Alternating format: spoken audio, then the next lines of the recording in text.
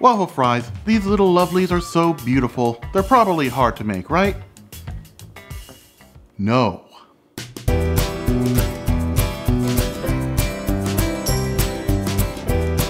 And then to begin, you'll need russet potatoes. This is optional, but uh, I like to keep the skins on. One gives a bit of contrast and texture. Two, my sleep schedule is all sorts of jacked up, and I'm too lazy to peel these things. So we're going to cut our potatoes into quarter inch slices with our fancy waffle potato cutter. So give a quarter an inch, press down. Remember, turn it 90 degrees, make a cut that's not as thick.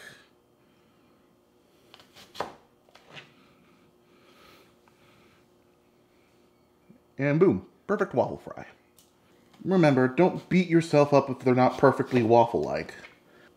Ooh, like this one right here. Keep practicing until you get this down perfectly. Irony! And finally, let our waffle fries soak in cold water for about an hour.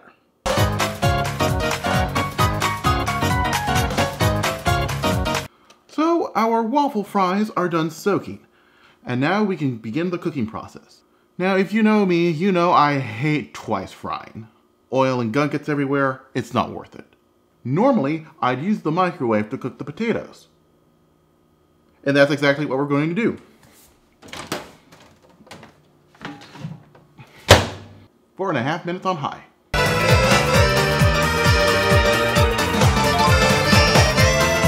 After a quick nig in the microwave, we're ready for frying.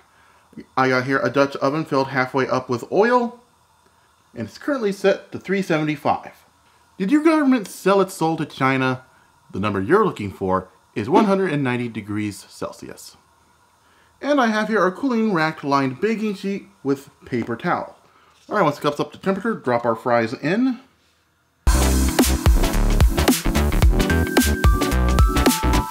Cook until they're golden brown.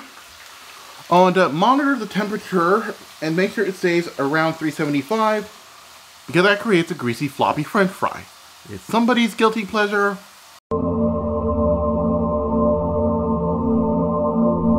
But not everybody's.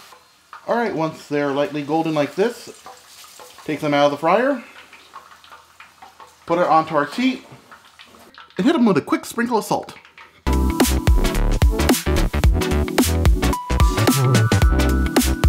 Now you know how to make your own homemade waffle fries without going to that one place. You know which place I'm talking about. Bruxie in Orange, California. Seriously, if you're ever in the area, definitely check that place out. This has been Chase Cuttin Kitchen. I'm CRJ making cooking fun and meaning it this time. Thanks for watching. If you liked the video, smash the like button. If you really liked the video, become a subscriber and hit the bell notification icon. I upload every Thursday. Don't forget to follow me on Twitter and Instagram and support me on Patreon. Yeah man, I'm filming this episode in 4K. I'm hoping this thing can heat up in time.